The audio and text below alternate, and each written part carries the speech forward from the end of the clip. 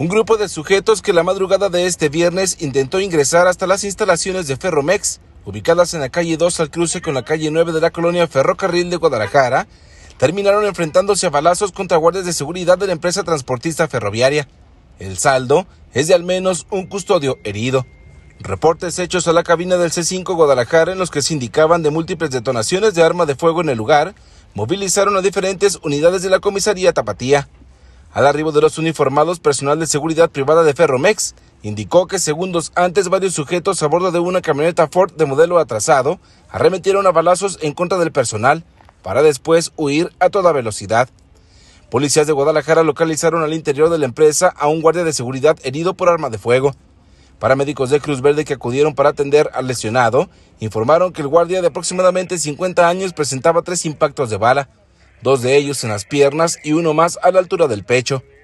El lugar se resguardó por parte de los oficiales y se emprendió un operativo para la localización de los agresores.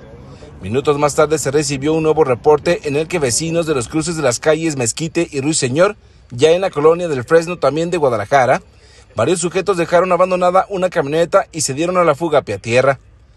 Unidades de la policía tapatía acudieron al lugar encontrándose con una camioneta que coincidía plenamente con las características de la unidad en la que los delincuentes arribaron hasta las instalaciones de Ferromex.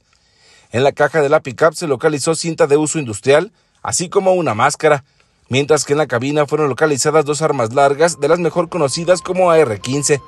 Los cristales de la camioneta presentaban también al menos cuatro impactos de arma de fuego.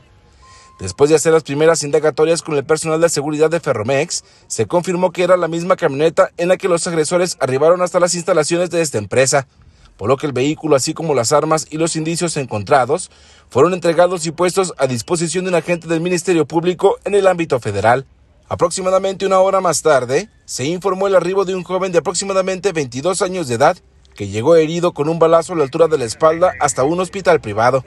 Hasta este corte informativo, autoridades seguían indagando para saber si lesionado pertenecía al grupo de delincuentes que se enfrentaron a tiros con los guardias de Ferromex, pues al ser cuestionado sobre el motivo o lugar donde fue baleado, este no supo decir datos precisos y fue incongruente en sus primeras declaraciones.